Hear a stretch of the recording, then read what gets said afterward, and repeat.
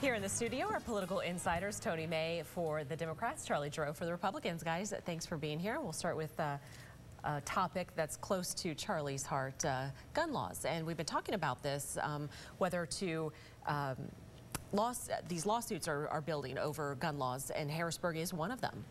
The lawsuits are building because the legislature finally granted what is called legal standing for entities to bring these lawsuits. These local ordinances, Tanya, are illegal purely and simply. They simply haven't yet been able to be challenged because the courts have said private parties don't have standing to bring these suits. They do now. They're going to be found to be illegal, and they're going to be repudiated.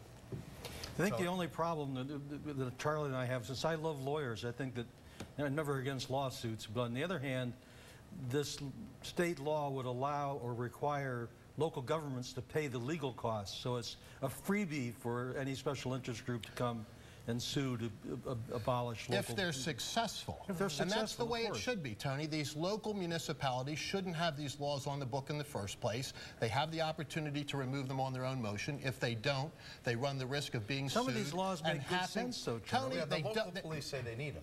They don't make good sense. I mean, ultimately, they don't work. Let me say this, simply and purely. The best defense against bad guys with guns are good people with guns. All right. Well, let that, let that stand on its own weak merits. All right. Oh, well, there's a lot of more We're going to get emails on that one, I'm sure. Um, let's talk a little bit about minimum wage. Uh, the governor coming out today talking about he's uh, in favor of increasing it eventually up to $10, 10 cents an hour. Charlie, I'll let you fight that one. Um, well, he I mean, says it'll stimulate the economy. and. Well, he says a lot of things will stimulate the economy, which clearly won't.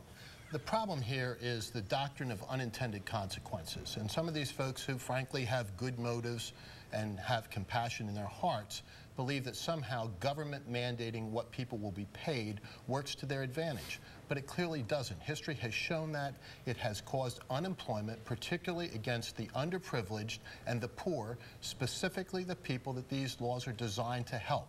And the problem is when you say we're going to raise it to here, eventually it's going to be to here and to here and to here and to here. Mm -hmm. And the mm-hmm. question becomes, why not $20 an hour? If it's a good idea to raise it, to make any quote-unquote living wage, why not raise it to the right, to the right level? And nobody says we can afford that. Uh, and Tony, so, some people argue that the minimum wage is not wasn't intended to be the living wage.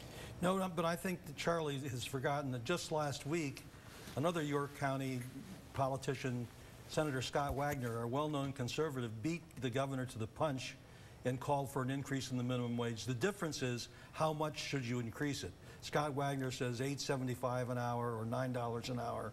The governor says 10.10.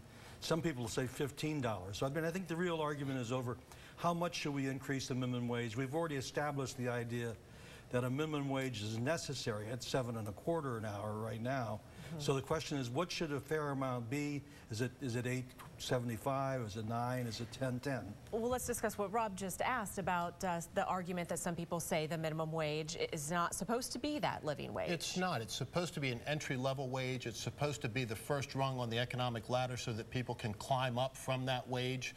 And Thomas Sowell, the African-American economist noted uh, for his scholarship in this particular area, has talked at great length about the fact that it hurts the poor and that when we began the minimum wage in this country, we had unemployment at under 2%. Look what it is among black youth today. All right, I know Charlie doesn't read the New York Times, but over half the people who are still working for minimum wage are over the age of 30. All right, we're up out of time. We'll leave it right there. Thanks, guys. You can catch our political insiders every Tuesday at 5.30 right here on CBS 21 News. And join us Sunday mornings at 11.30 for CBS 21's Face the State right after CBS's Face the Nation.